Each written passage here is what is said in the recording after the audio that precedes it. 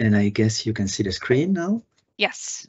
So just to create more confusion, I changed the title of the presentation. Yeah, it is a review, but uh, I wrote in the title that we're going to talk about near surface statics and the Borromean rings. And it's it's not easy to have a, a general review and try to present a topic so important, so fundamental like statics to a to a wide uh, audience that might have different interests and different uh, background. So what I've tried to do is to do something which is uh, accessible. It's not too mathematical, and it shows some of the uh, important points, some of the basics, but also some of the less known strange relationships that you have between the different uh, components of the challenges of land data. So I, I, want to start with a short historical perspective and talk about the technology evolution, how in the past uh, decade or, or 20 years, lots of things changed, especially onshore in terms of acquisition technologies and geometries and how the data are acquired and processed. And then uh, how this technology evolution changed completely the industry, but didn't really change the challenges of uh, land data, which is, are still the same. Then uh, some uh, definitions on statics, trying to clarify what is the difference between the short wavelength and long wavelength component, why they impact both the focusing and the quality of the image itself and the position of features, trying to explain the link to the velocity, and then uh, why we use this um, metaphorical figure of the Borromean rings to explain the relationship between the different components of this challenge. And then uh, talking about potential solutions, I, would like to talk about two aspects. One is uh, what do you do when you already have the data? So the geometry of the acquisition, the parameters, the signal to noise ratio, everything is there and you cannot change it. And what do you do when you design a new survey and you have the possibility of influencing the data? How do you try to anticipate how things will be? So if we start with a historical perspective, we can start from the very beginning. So seismic was invented as a tool to detect the enemy artillery. And uh, initially it was refraction seismic. So people were trying to detect vibrations and understand the source of vibrations. And just after the end of the First uh, World War, different uh, scientists and researchers on in, in Europe and in North America and Canada and the US tried to use the seismic to characterize the medium in which the seismic waves are propagating and not the source itself. And uh, I think this race was actually won by a group of uh, Americans with uh, John Karcher, who about 100 years ago uh, performed and designed an experiment, a reflection seismic experiment. And uh, he drew these uh, sketches where you see sources and receivers and rays and reflections and the equipment that was used. And uh, they actually performed an experiment in Oklahoma, close to the city of Maud. And uh, it's probably the first uh, seismic reflection experiment. We have uh, in the patent the images of the first seismogram that you can see. Let me just change the pointer. So, so the first seismogram, which is here with different reflections and direct arrivals, etc. The technology, of course, evolved a lot. But the first thing to say is the patent is 1929, so it's a long time between the experiment and the patent itself. And it's because in the meantime, they actually managed to map the Viola limestone and they found a structural high and they drilled it and they find they found oil. So it's the first discovery based on reflection seismic, and they probably kept it secret until the patent was published. The technology evolved a lot in 100 years, of course, and today we have uh, uh, incredible technologies that have been developed and pushed into the market. So very light, autonomous, robust, distributed recording systems based on nodes. And we have higher fidelity sources with an incredible performance in terms of ability of repeating a certain signal and shaking for years without stopping in a very sturdy implementation. We have higher productivity strategies and solutions that allow to have 20 fleets shaking at the same time and getting an incredibly high data density. Then we have automation, which is probably the next step in seismic. And we have remote command and control that allows to control remotely a crew and process the data even remotely, starting quickly. So the, the, changes are not only logistical. The logistics, of course, has been revolutionized because what was a string of geophones with tens of geophones and cables is replaced today by a single node. And we can discuss about the advantage of having multiple sensors, etc. But the logistics and the possibility and the incredible flexibility on the geometry is something that obviously is extremely valuable. And when you talk about automation, there are ways today to have to have uh, machines that are able to go find a point, pre-plot, spray paint, and we have the possibility potentially to have something that is drilling a hole and is putting a node, sticking a node in the ground in a completely autonomous way. It's not something that is still uh, in the industry as a standard commercial process, but it's something that might come.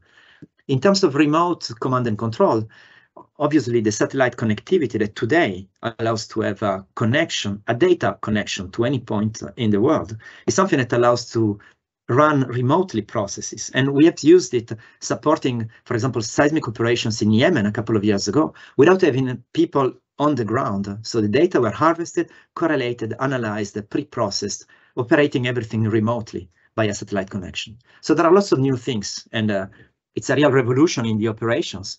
But the point is, is this solving the problems of land data? So we have today data with, which have no problem at all, in which we don't have any issue with the near surface, with the noise, Obviously not, because these issues come from the very nature of the wave field and the fact that it has to go through very variable properties through a very variable near surface.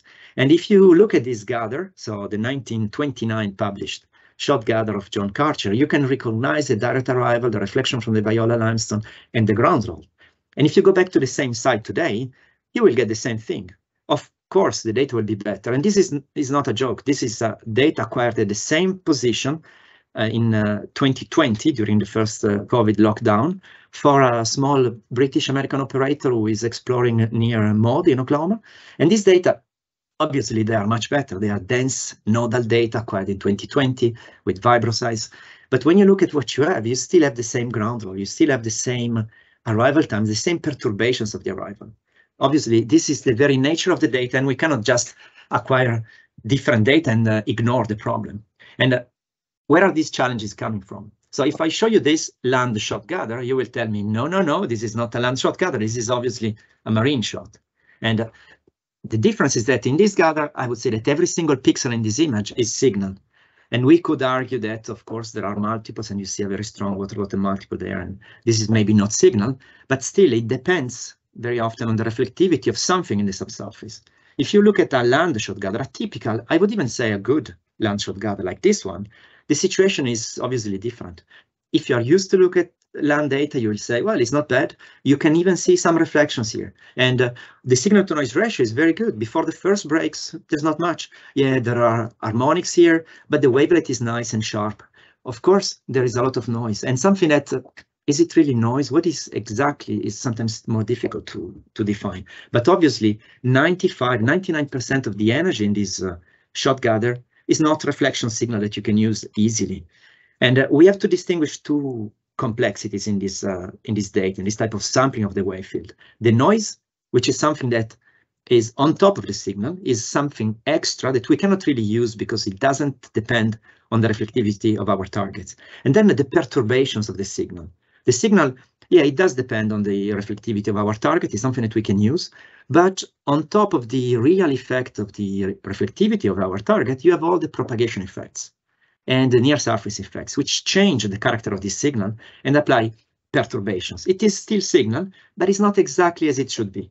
And uh, of course, when you look at land shot gathers, you always see things like this, where you have bands of high amplitude, low amplitude, the amplitude changes locally for no specific geological reason. And then you have these uh, pull-ups and push-downs. And uh, yeah, maybe it is real. Actually, it is real. We have recorded it. But where is it coming from? Is it possible that the wave field coming from a reflection arrives at the surface and has a 20 millisecond difference over 10 meters? No, it's not. The curvature, if the reflection is being generated down deep, is simply not compatible with the velocity. So these are phenomena that come from something else, perturbations.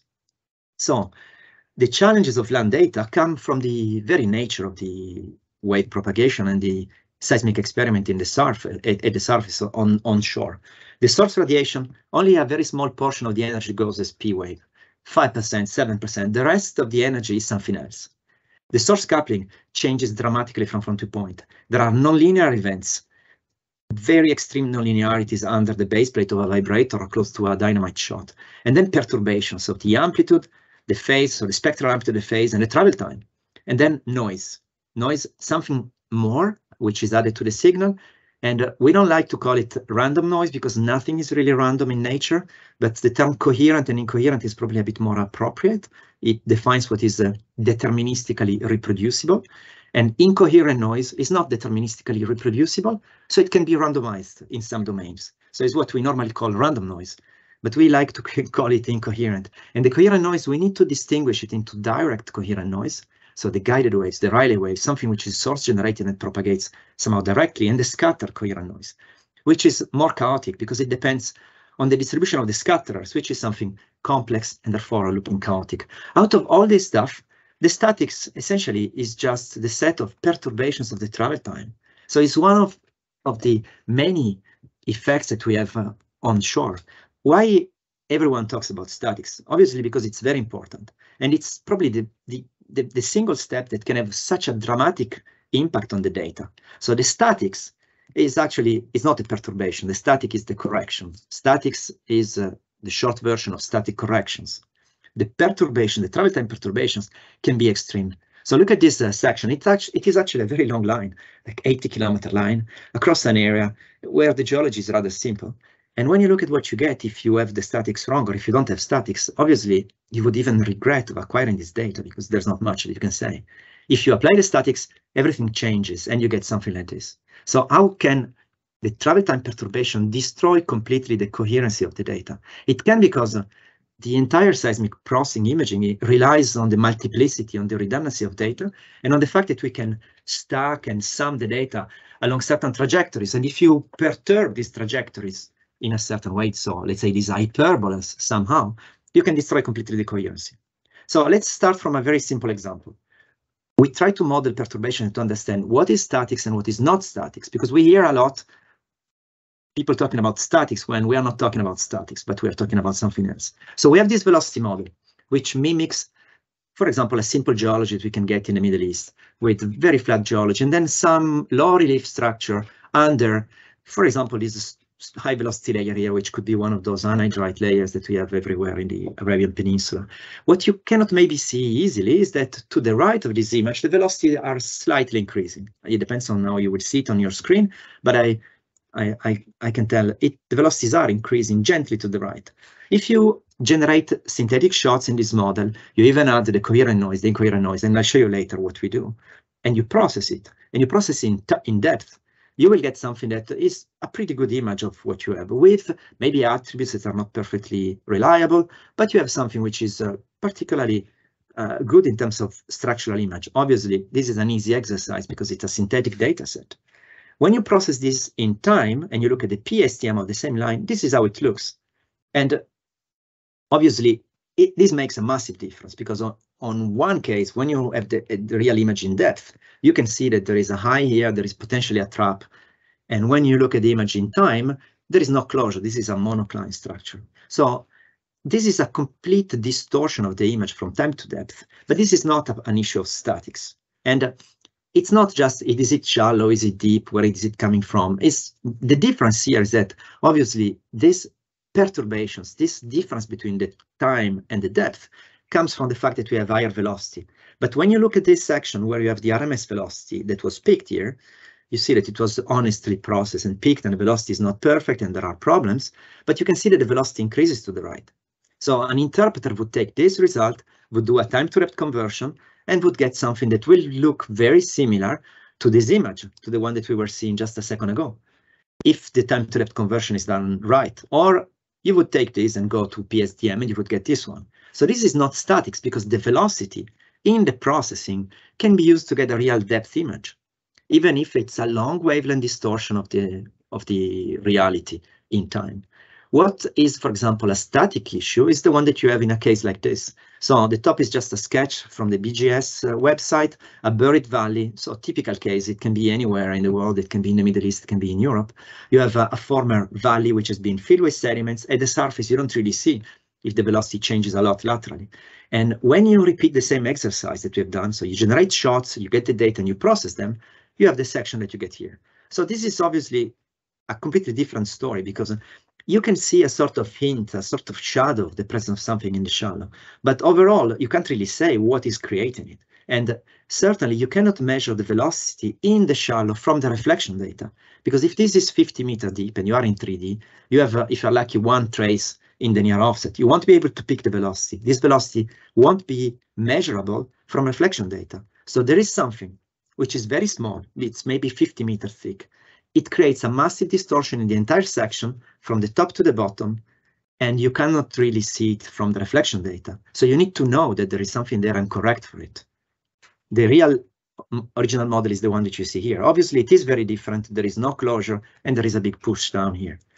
But is this it's that it? This is the only real issue. So you just need to see that there is a time delay and the problem is fixed. And the story is much more complicated. And this is why we start talking about these Borromean rings. So the Borromeo family is a noble family, very powerful since 500 years ago in northern Italy. This is their coat of arms. When you look on the coat of arms, you see these little rings, and these uh, three rings are topological. In a topological space, these are three curves which are linked, interlinked to each other. So they are connected and cannot be taken apart. And uh, these are like the statics, the velocity, and the noise. The statics in red, the velocity in green, and the noise in blue. The problem is that they are so intimately connected, interlinked, mm-hmm. that you cannot solve any of them if you still have the problem, the global problem. So you cannot pick velocity if you don't have a decent static solution, because you might lose completely the coherence in your data. And obviously, it's very hard to pick velocity if you have a lot of noise. But you cannot really denoise the data properly if you still have a, lot of perturbations and if you don't have the velocity, because despite what we always say in processing, very often you need some noise model to be able to denoise the data and signal model. And you cannot really compute statics. You cannot rely on any statistical process if your data are too noisy and if you don't have the velocity. So the problem is that they are so connected to each other that you don't even know from where to start. So if there is a standard sequential step a series of steps that you want to do and you try to do it in the conventional order, sometimes it simply doesn't work. The interesting part of the Borromean rings is that, yes, they are simple closed curves in this three-dimensional space. They are topologically linked and they cannot be separated, but they break apart into unknotted and uh, unlinked loops if one of three is cut or removed. So if you, for example, solve the statics, the other two can be solved become non-linked. It's it's just a metaphorical image to have something to remember these three elements. But the message is that the velocity, the statics, and the noise are very strongly linked. Are very strongly linked, and it's not really easy to say what has to be done for the statics if you don't have a strategy for the other two. So let's continue with uh, modeling and showing how we can reproduce most of the things that we see modeling data. And uh, in front of our office in Brisbane, there's a parking and they have these nice limestone slabs on the wall. And one of these slabs is one of our favorite models that we call the Brisbane model, because it's a very nice, simple uh, structure with some complexity in the near surface. And this is transformed into, for example, a density model. So this is the mass density, and we add some small markers so that we have some clear reflectors that we can see. But we build a full elastic set of parameters with the VP, VS, and mass density, and then we simulate data. We simulate data with a finite difference elastic simulation so that we have gathers with different geometries in 2D in this case, but we do it in 3D very often. And we can simulate the data and see what happens if you have a certain approach for the statics, how deep the statics can be, can you compute statics when you have a velocity inversion, etc., etc., etc. So the, the interesting part of the Brisbane model is that if you get this velocity model that you have here, and you process it to PSTM, so you generate the shot gathers with the noise and all the other stuff, and you process it in PSTM, you get a very good result. And uh, well, this is also interesting because it helps to explain what are the edge effects. Sometimes people will say, why I need to extend my line by two kilometers? And you say, yeah, because look at this, you don't see anything on the edges. And it's not because uh, there's something strange on the edges, because you are not illuminating it. But apart from this, uh, you know, these two triangles on the edges, it's a very good image. And uh, considering that the data that we've created are very noisy, it actually answers most of the questions. What happens if this high velocity layer, that one that here is shaded in yellow, has a different shape? What happens if we put a high velocity layer going closer to the surface? And uh, be careful here. The point is that this is a high velocity zone. It's not a low velocity zone. But uh, very often we forget what are the basic assumptions of the static computation. So we now put a high velocity zone going close to the surface there. And uh, you see the image in PSTM without the high velocity and they imagine a PSTM with that velocity. So we have a high velocity zone here. You expect it's faster, it takes less time to go through this stuff. So less time, it means a pull up we expect to find a pull-up below this anomaly. And when you look at what we get, yes, there is a pull-up in the shallow 500, 600 milliseconds. But when you go below, obviously there are more complex effects and distortions. So there are layers crisscrossing each other here, and there's even a push down below. The point is that the perturbation that this high velocity close to the surface is inducing simply cannot be fixed with a static correction because it's not static. Static means it doesn't move. It's constant for the different offset, it's surface consistent. And in this case, it's not. So this, it's a near surface perturbation, but simply cannot be fixed easily as a static shift. What we have to do here is characterize the near surface, get a model, and go to depth. And here what you see is on the left, the PSTM, pre-stack time migration. The difference is not time and depth. Obviously, is that the migration operator allows to take into account the lateral velocity variations. So in time, uh, you will get this massive distortion and the crisscross and the push down, and in depth things are okay. So the first thing is, yes, we can and we have to compute statics, but we need to be careful what we try to do because certain things cannot be fixed simply with a time shift. And then let's continue with the models. Let's take our Brisbane model and you see what you have with a simple model without the velocity anomaly in the shallow. The reflectivity goes up, but there are no high velocity there. Then we include the high velocity anomaly, and then we start adding the near surface complexity. You start adding a low velocity zone in the overburden. So now it's a low velocity, which is more plausible from a let's say, geophysical viewpoint, because often you have low velocities at the top with the unconsolidated sediments. But it's not always the case. There are so many cases where you have a, a hard near surface, a fast near surface with outcropping carbonates and, and all the different potential combinations that you can find. But we have included here a low velocity zone, which has a, a velocity which is reasonably slower than what you have below, and it's relatively simple in terms of geometry. And then we add, to contrast it, a near surface which is complex spatially, and it's not an extreme complexity. The, the horizontal scale is actually not uh, meters, these are cells, so these are 15 kilometers. So this is a medium range variation. And then we try to look at what happens to the data. Again, we go to the simple model and we try to see what happens. The first will be the PSTM in a very simple case without this high velocity anomaly. Then we add the velocity anomaly and we try to process in PSTM. And uh, very honestly, we try to pick the velocity, we try to do the best we can to get something that makes sense in PSTM. And this area, when what you see here is the real velocity that was picked by someone processing this line. So the high velocity is in the shallow, but there's no reflectivity near offset, poor near offset. We don't really see that the velocity is fast there, and we have not used the refractions here. So the velocity somehow impacts the velocity below. And when you look at the gather, if you are far enough from the anomaly, they look reasonably correct. But as soon as you get close to that anomaly or inside the anomaly, you see the strange type of distortion that you get. And this cannot be fixed with statics. I'll tell it again. The problem is that it's not static and it's too fast to be fixed uh, with a simple static shift because the rays are not refracting, increasing their angle, but they are actually diving down. What you see here is also the origin of the pushdown that you see below. And it's because of how we pick the velocity.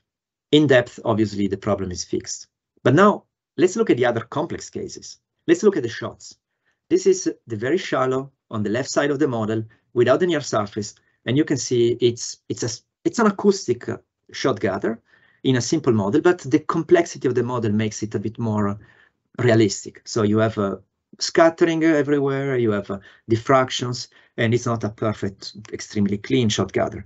When you add the near surface, you see that there will be a push down an overall push down, an overall delay, you see the refraction coming there, and you will see that laterally some of the velocities will change. The velocity here is perfectly linear. Because of the changes of the thickness of the near surface, it will change. But it's still a, you know, a very well-behaved situation in which static solution will solve the problem. And I'll show you in a moment that in this case, a static solution will fix this and show it at the right position. But then let's look at the other case the case where the near surface is complex and is creating perturbations and diffractions, and it's actually destroying the coherency of the signal. This is something that we see in many environments with basalt, with carbonates, with karst, in many environments where the near surface is complex. You can get this type of dramatic impact on the data. And this is something that is not just a travel time distortion. Look at the results on the sections now. This is a, a PSTM without the statics. This is with the case of the high velocity here and the statics, but the statics will fix everything, will not fix what happens in the middle. And now look at what you get when you have uh, the complex near surface. Just as a reminder, there is no incoherent noise on this data. So the fold, you can multiply the fold by 20 and you will probably get the same stuff. It's not a matter of decreasing the level of the incoherent noise. The problem here is that the very signal is distorted to a point where certain things are not really summed to each other. And then we have to imagine that sometimes working with a complex near surface, it's like trying to work in the pre-salt or in the sub-salt without really seeing the top of salt. And the situation, it is very similar because imagine that you have uh, something on your swimming pool and you look at the shadow at the bottom of the pool. The shadow obviously is round, but when you look at the shadow, very often you see something like this. It's very realistic because it's a it's actually a picture, it's an animation, and you see here that the shadow and the you know, obviously, and I promise the shadow is round because the shape of the object at the surface is not changing. But what we see is very distorted. The reason is that uh, the image of the shadow, which is round, goes to the surface. If the surface is flat, the rays will change their direction in a very coherent way. They will stay parallel. They will change direction because the refractive index of this, you know, in the water and in the air is different. The speed of light is changing, but we will still see a round image if the surface is irregular, every single ray, every single portion of your deeper image will be sent into a different direction, and you will see something which is very distorted. So this is what you see in this image, in this animation, and this is what you see in this gather. In this gather, which is completely distorted because the reflections which are coming down from here, they're just diffracting and, and sent in different directions. It's not only the diffractions, it's really the change of the ray path. So this is not something that you fix easily with statics.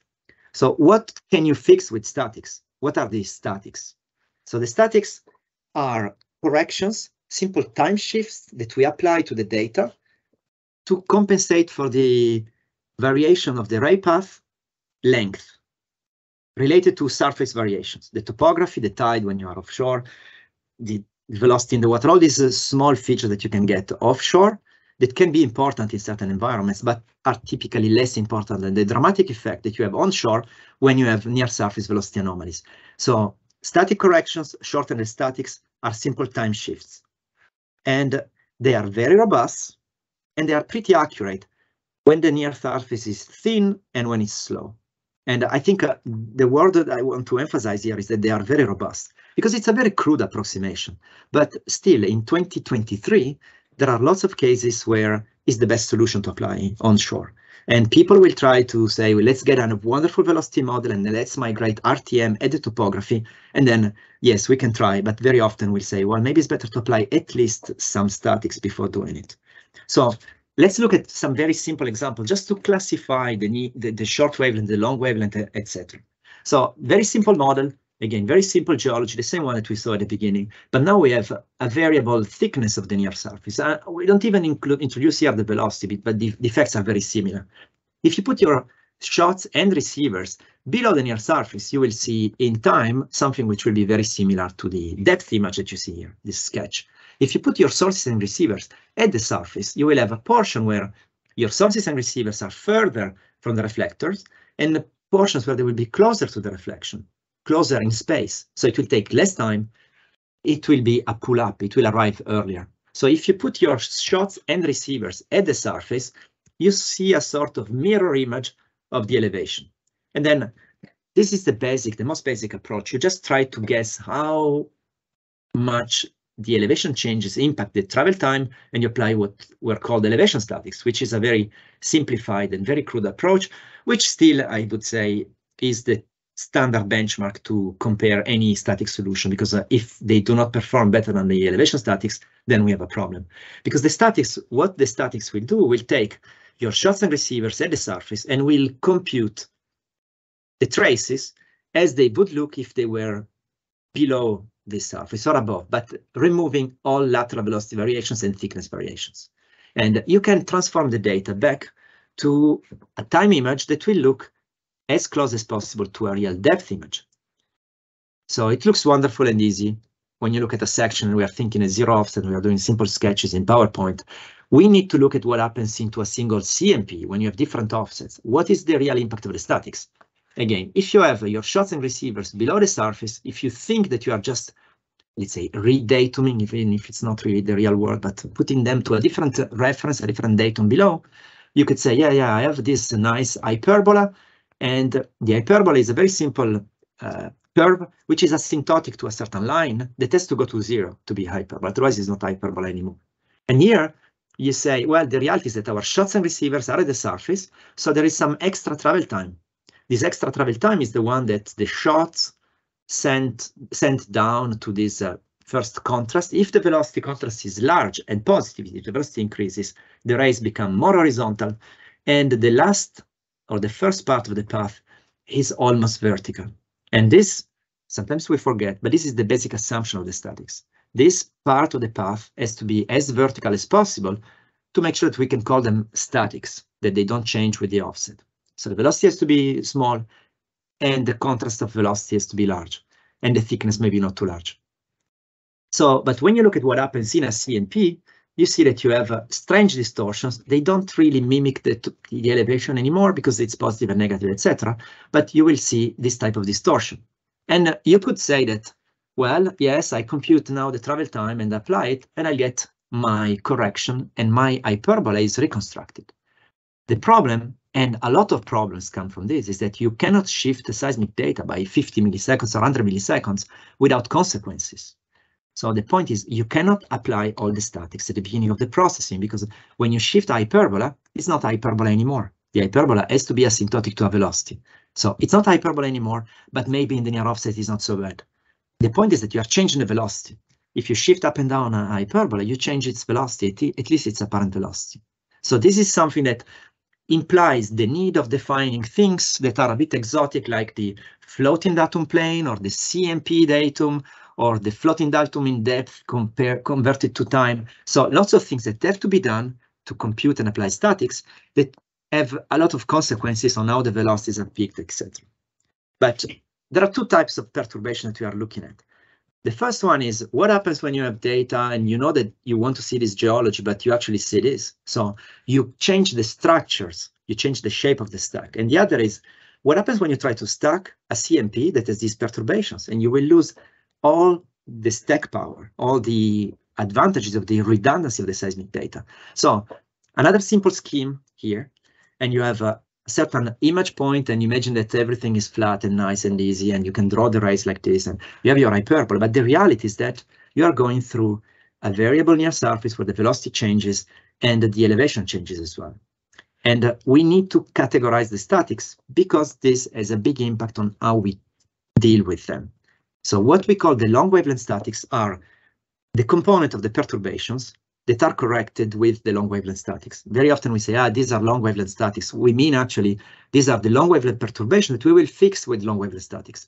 So imagine that uh, bright means slow and dark means fast. Where it's fast, you have a pull up. The image, as you can see, it's a very simple anticline. And when you look at the results of applying these perturbations in the near surfaces, you actually see two anticlines because you have uh, two pull-ups and one push-down. And this, on a scheme like this, maybe it looks a little bit extreme, but if you have seen data in certain uh, very low relief structures, including the Paris Basin, with a complex near surface like chalk, which is dolomitized, it's fast and slow, sometimes there are structures that are wonderful, they look realistic and they're completely wrong. So these structures are extremely dangerous from an exploration viewpoint because they look real and that even if sometimes we have ways of understanding if it's real or not, they are very plausible and they come from something sometimes in the very shallow where you can't really see what's going on. Then on the opposite, we have the short wavelength statics. The short wavelength statics are the perturbations that happens within your spread in a sense that will make, for example, in this uh, scheme, very nice and high frequency and sharp and full of detail, the image on the left, and blurry, lower frequency with a lower resolution the image on the right. Because, I mean, this, this looks like a PowerPoint, but we have simulated the data and we process the data.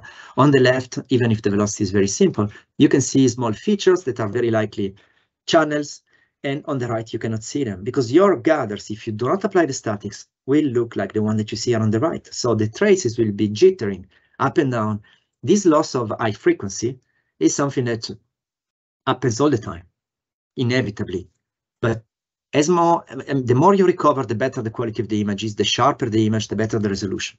So if you see an image like this, you would probably be happy. But if you know that this, again, is reconstructing the image, applying the time shift locally and summing it together, and the real image is like this, you can see how much detail you can lose and the distortion that you can get with statics. So the short period statics are typically the component that can be corrected statistically. And the statistics, again, there are lots of different approaches, but if you go back to the basics, the statistics is within a single CMP, it can be a super CMP, you can do all the tricks that you want. You can try to align the first break sometimes, but you need to see that within a certain range of offsets, the trace that should be identical are actually different, and you need to find what is a surface consistent, what shift up and down, and apply it and correct for it. This is something that can have a tremendous impact, because if the data are very noisy, this won't really work. And I have an example here of a, a, very long line, another long line. This is more than 100 kilometers in northern Australia, in an area which is complex because you have shallow basalt. So the data are very noisy. Everyone is saying the data are very noisy, but is it what noise are we talking about? When you look at the noise, it's not really noise. It's all the source generated perturbations that you have. It's not the external noise. The problem is still that since it's very difficult to see clearly the coherent signal in the data, and there are perturbations, if you don't fix the problem, you just try with a conventional approach, one step after the other, you get this result. If you are able to decouple the different steps and fix the statics independently of everything else, you will get this result. So the statics, even if they are not really extreme, they are able to destroy basically completely the coherency of this section. So this is a more than 100 kilometer, and you basically cannot follow layers, you cannot track them. And this is what you can get with the proper statics. So again, it looks like Okay, fine. So we need to compute the long wavelength statics. Typically, we will need a model. Statistics for the short period statics. So mm, different technologies and techniques that are able to compute this jitter and compensate for it. It's easy, but actually there are some subtle things that very often we forget. And is, for example, what about the replacement velocity? What is the replacement velocity that we need to choose? Does it impact at all, for example, the dips and the structures? And look at this example. So this is the section I was showing earlier. I was showing only the right hand side. There is a valley somewhere in between. There are uh, uh, hard outcropping layers on the left and the sand dunes on the right. And when you apply the statics, you get something that is much better. But now the question I have is why there is a change exactly at the position of the valley?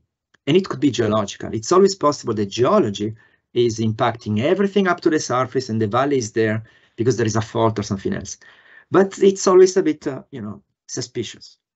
And uh, is the dip really changing there or is there something else? And look at a very simple example, very, very mild complexity in the near surface. So you have outcropping carbonates, a fast uh, hard layer, then you have a cliff, and then you go to something slower. And on the left of the cliff, where this, let's say, sandstone layer is not covered or protected, it changes its properties laterally. The dip is regular, it's always the same, everything is parallel from the top to the bottom. If you look at the section without the statics, this is what you get. Obviously, these undulations, uh, we've created sinusoidal undulation just to make them more visible. Here they go up and down, and then the layers there looks completely flat and horizontal because they are parallel to the surface. So we are still at the surface, or let's say at the floating datum. When you correct for these statics, it looks uh, okay. What is above your intermediate datum will have the opposite of the statics. So here you will get something that will be wrong because we had to compute statics down to a deep layer. And therefore, what is above it, even if it was flat and simple, it's now distorted with a mirror of the statics. But then maybe it's not really visible here because we're looking at three, uh, sorry, four seconds. But when you zoom in and you look at what happens here, there is a subtle change of dip. And where is this change of dip is coming from? Is it is it real? No, it's not real because we have the model. But why we have it? Where is it coming from? The replacement velocity that we are applying essentially describes the position of the elevation in time. And uh, in this case, it is related, it has to be related to the velocities in the shallow. In this case, we use one single replacement velocity, as we always do, and there is an apparent change of dip. So this is something that, again, has to be taken into account. In this case, if you do a time to depth conversion and you know it has been done, you'll fix the problem. You will not have a change of dip. But I bet everyone has seen cases where there are changes of dip that correlate with the topography and we still ask ourselves, what's going on? So the key of the statics, the key, let's say sometimes unknown or less known element of the statics that you cannot shift the data. So unfortunately, even if of course it's better to migrate the topography and all this stuff, the fact that you cannot shift the data because when you shift the data, you're changing the velocity, forces you to use a CMP datum, a floating datum plane, or call it as, as you want to call it, but something that is a temporary reference during the time processing that is able to stay close to where the data were recorded. And then you have a final datum. One of the things that we always struggle with is the intermediate datum because it's a, it's not intermediate in the sense that it's something applied during the processing and then it's lost. It's something that uh, defines the assumed base of the near surface. Because if the data processing doesn't really tell exactly what was done in terms of statics, down to which depth you have replaced the velocity, then the time to depth conversion will struggle because you will not know what has already been replaced and which velocity you have to use in your time to depth conversion. So the statics are a complex component of the workflow, but it's very linked to the other, to Borromean rings, so the noise and the velocity. So what to do in practice? I think we, we need to distinguish in two cases, when you already have the data and when you plan a new acquisition. When you already have the data, well, you know that you will have uh, perturbations and you will need to do perturbation corrections and you will have noise and you will have to do noise attenuation. And uh, one of the common elements, the common ground of these two aspects is the near surface because the perturbations Yes, they come also from the overburden. You might have a gas pocket creating absorption and other things below the near surface. But typically the variability that you have in the shallow is an order of magnitude larger than the one that you have below because the velocity can be 300 meters per second and 3000 meters per second at a very short distance. And the other thing is that most of the noise, the coherent self-generated noise, it's actually propagating in the near surface. So the near surface is the common denominator of these two. And uh, if we understand how the near surface is, if we can see it, then we can, on one hand, do model-based perturbation corrections. So we try to compute the statics based on a model, and we can do a model-based noise attenuation. The near surface characterization means we don't just want the statics, we want a model. We want to be able to see the model. There are techniques, and I'm going to insist on the surface waves because uh, I I love it. I've done a lot of work in, when I was young on this stuff. And I think it's one of the still overlooked components of the workflow. There are today very accurate, very robust, efficient diving wave tomography approaches and full waveform inversion approaches. But when the data are very difficult, both will struggle. And onshore, to be honest, in many cases, the full waveform inversion is adding a little bit on a very good diving wave tomography, but it's still using only that component of the wave field just after the first breaks. The advantage of the surface waves is that they are the strongest component that we have in the data. When you have a source at the surface, you generate body waves going down into the earth on spherical wavefronts, but you generate essentially surface waves. Two-thirds of the radiation are surface waves. They have a much lower geometrical spreading, they have a very short wavelength. And the short wavelength is an advantage because they are extremely sensitive even to small features. They are able to detect small features in the near surface. The drawback, the limitation is that they are essentially sensitive to the shear wave velocities.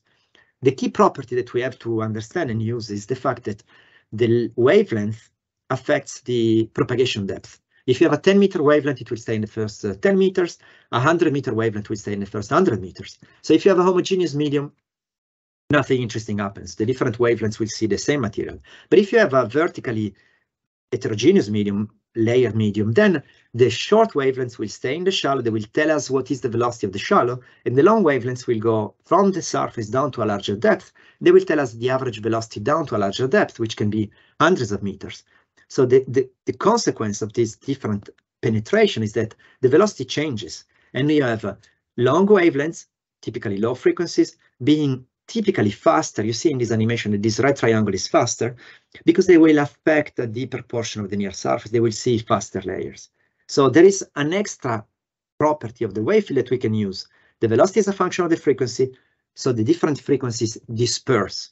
They start together and they disperse. Some are faster and they will arrive earlier. Some are slower, they will arrive later. So the dispersion is the physical property of a wave phenomenon that is a, as a velocity function of the frequency, but it's also a physical property that we can use exactly as the refraction and the reflection. So the waves interact with the media, with the heterogeneity, showing reflection, refraction, diffractions, and dispersion.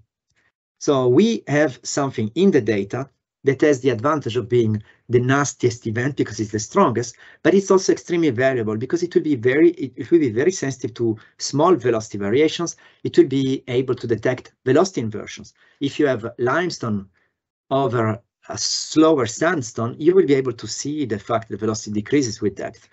We extract the dispersion curve, so the relationship between the frequency and the phase velocity, and we use it as a measurement, as data that go together with the diving wave, for example, the travel time, and potentially with the full waveform for the acoustic component into giving a, a near surface model.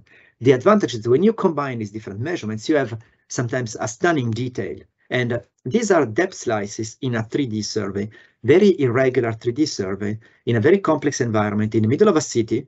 And these are very shallow slices from 20 meters down to 200, 300 meters below the surface. So I think, well, we, we like to plot them in grayscale because they look uh, radiography. And the interesting thing is that you see on the shallowest slice that we have a, a buried valleys, a sort of canyon that goes down here, and there is nothing at the surface. The current path of the river goes to the north, and then you see a fault cutting the area in two. So not only this is something that reveals a lot of very useful uh, shallow structural geology, but it's also something that can be computed, okay, sorry, can be used to compute a static solution, but also can be used to drive the modeling of the coherent noise to attenuate the noise in certain environments when it's aliased or where it requires um, uh, to model the noise in a very irregular geometry. So this makes a big difference when you are when you have very complex near surface. Getting models combining different tools gives model that can be looked at, can be understood, can be geologically proved, and can be used for the corrections of the near surface perturbation. In low relief structure, this obviously can be something with a dramatic uh, exploration uncertainty impact because you see a bump, you see a structural high, and in many environments, it's really hard to make sure that you are not looking at the effect of near surface anomaly. And then people would drill hundreds of apples and would try to calibrate, but there's always the doubt on what is the reality of the structures at depth when you have this type of environment. The other thing is, once you have a very accurate model of the near surface and of the surface wave propagation, you are able to model the surface waves. And even when they are badly aliased, you are able to model them beyond aliasing and subtract them. So it's a it's a double advantage because you can also use model-based noise attenuation. And then the other scenario is, uh, what do you do when you have uh, to design and acquire the data?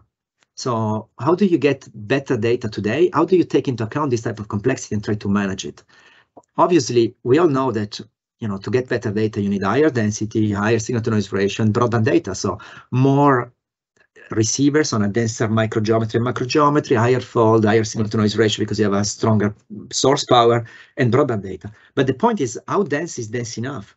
Because uh, of course, in certain examples and certain papers that were published a few years back, we could see that actually it never stops improving when you look at certain attributes. But obviously there are all the operational constraints and the cost and the budgetary limitations of uh, new acquisitions. So how dense is dense enough?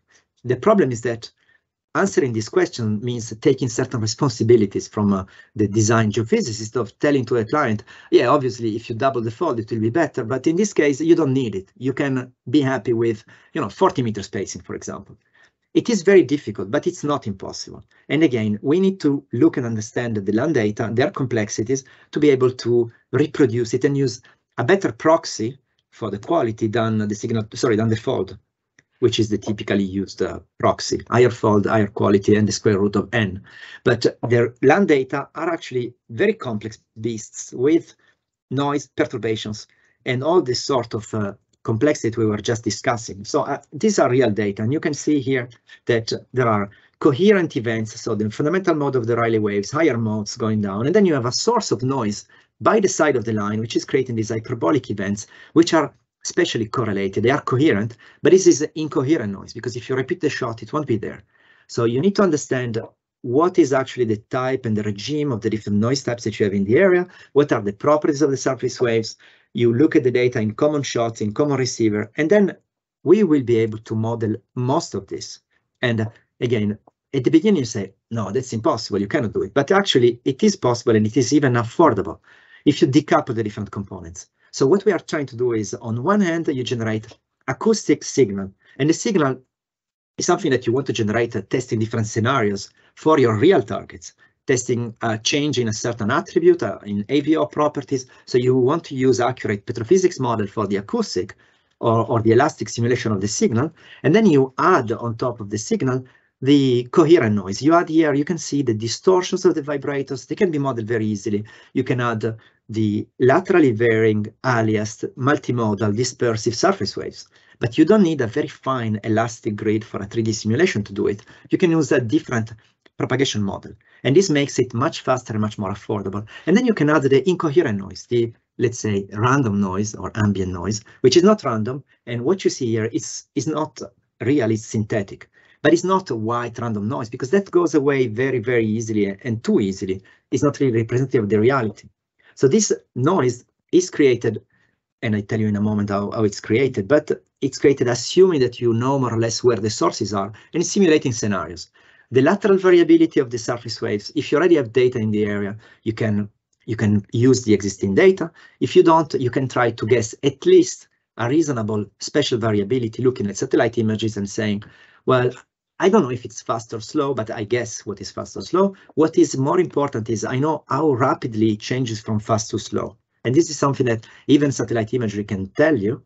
And also you can say, well, the places where I have large changes of properties are very likely sources of scattering. So you can add the scattering sources. And then the incoherent noise, so the random noise. If you add white random noise, it's better not to add anything because it just goes away as soon as you stack. This is surface consistent incoherent noise, which is actually a set of sources going around your survey with different power, different strength, and adding propagating waves to your data. And they can be completely decoupled. They are generated separately with a shallow propagation model because most of the noise is actually propagating again in the same usual and nasty near surface. The advantage that this noise is very realistic and you can generate it changing how much noise you expect to have you can add the wind noise, you can add the flare, the pumps, the pipes, the infrastructure, the trucks, the trains, and everything you want. So an example here, the acoustic signal on the left, we add the elastic near surface noise, so direct and scattered surface waves. And as you can see, the near offset are completely wiped out by the scattering because we say, ah, this is an area with a lot of scattering. Let's see what happens. Still, the acoustic signal is very easy. And then you add the incoherent noise. The one on the right, you might say, well, maybe you went a little bit too far. It's a bit too noisy, but this is pretty realistic for acquisition in urban areas, which is becoming more and more common with geothermal exploration. And this is the data that were acquired at the site for which the simulation was generated initially. So it, of course, it's not exactly the same. It's cleaner in the near. Here, for some reasons, there was a very strong source with very low frequency component that it was not in this specific simulation of the noise on the right, but the overall behavior is similar. The far offset are really hard to pick. You can't really pick the first breaks. How do you compute the statics if you cannot pick the first breaks? Here you get, for example, surface waves. The advantage is that we have a noise model that is uh, physically sound and it's physically meaningful. We are modeling the noise and we know that we'll have 0.01 millimeter per second particle velocity at 10 meters from a driving truck, and we know how much uh, vibrations a flare, a pipe are producing, etc., etc. And then you can say, okay, what is the source that I need? And you can tune your parameters. For example, on the left, 120,000 pound fundamental force, so four heavy vibrators in a fleet. On the right, it's one single mini vib, 12,000 pound vibrator. And then of course, everyone will say, yeah, the fold will fix it. Just uh, do a very dense survey. Yes, this is what we did, five meter spacing. And uh, even with five meter spacing, the targets at depth are not really visible because the level of the ambient noise that we expect here is such as the signal will not even stack out even if you have a fold of 1000 because the signal is too weak compared to the noise. And the other thing that you can do with this is then adding the perturbations and seeing with this level of noise, is there any chance of doing full waveform inversion? Is there any chance of doing surface wave inversion? Is there any chance of picking the first breaks up to the maximum offset? So maybe we went a bit too far and we touched a bit on too many topics, but if we conclude, the challenges of land data come from multiple factors. But I think it is very important to say that it's not only the factors themselves, but it's their relation, how they relate to each other, how they are linked, which makes a big part of the difficulty of dealing with them. If we have to conclude with a simple motto, when it's processing and the data are really challenging because of this, for example, perturbation, statics, noise, or whatever the of the three is the most important one, decoupling these Borromean rings is key. So we need to fix some of them. We need to be able to cut one of them somehow and model-based near surface characterization for the statics for the noise is probably one of the options that we try to use a lot when data are really difficult. And when it's about designing service to make them work, simulation has to be used more. We really think that today we can simulate most of the things that we find in data. And uh, yes, sometimes uh, it's computationally expensive, but it's always cheaper than going in the field and acquiring a server that won't work. And it's even cheaper than saying, I don't really know if it's enough, so let's just double the fold, as we always say. So it's better to design, simulate, and study so that we can actually design the optimal survey. Keeping the operations in mind is key, because obviously the budget constraint and the operational constraint will always uh, rule. So that was the last uh, slide.